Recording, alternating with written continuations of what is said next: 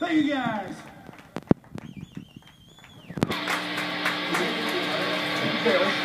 All right, we are the Prowl front of the city, and thank you guys so much for joining us tonight. It's a wonderful holiday celebration. There were some good bands right before us. Like I said, the Jesters were amazing, but the Violet Eyes are right up after us. If you don't know these cats, you have no clue. And then DG. How many of you have seen DG before? Not many. Not enough for the amazingness that is DG. I saw him once, but it was a brief but bitter affair. A brief but bitter affair. You were good. song's called Heat Wave. It's on our fucking EP over there. Song's for Steve, because he's hobbling around like a motherfucker. It's a heat wave,